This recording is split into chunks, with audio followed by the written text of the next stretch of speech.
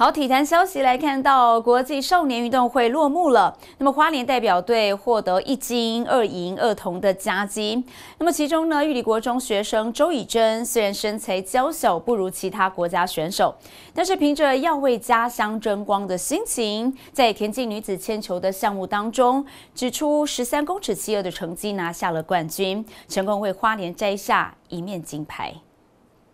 俏丽的短发，水汪汪大眼睛，她是周以真，开心的跟家人聚餐庆祝才刚刚夺下的国际少年运动会铅球冠军金牌，家人们兴奋的拿着金牌与她合照。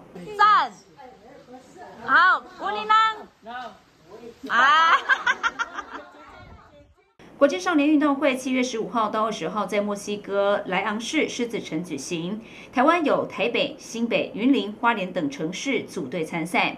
周以真虽然舟车劳顿到墨西哥参赛，让体力面临考验，但是他一站上赛场，展现大将之风，丝毫不畏惧他国身材高大的选手。在第二次投掷时，掷出十三米七二的惊人成绩，为花莲摘金。有有蛮紧张的。在国外跟国内的比赛都感受不一样，别想那么多，想说目标前八，没想到还可以第一名。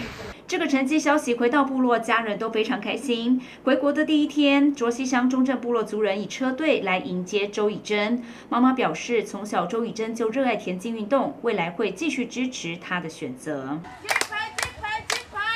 以真，以真，以真！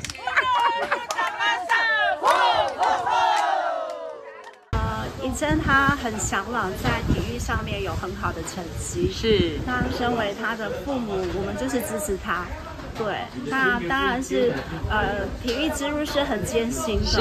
那我们就是，呃，不管他给我们的是是是否是赢或输，那我们都是永远就是正向的鼓励他。田径教练刘志宏说：“周以珍平时训练相当自律，也不服输。在国际少年运动会达成目标后，终于能卸下心中大石。暑假过后，他将进入花莲体中就读，持续朝体育之路迈进。”记者高双双卓西乡采访报道。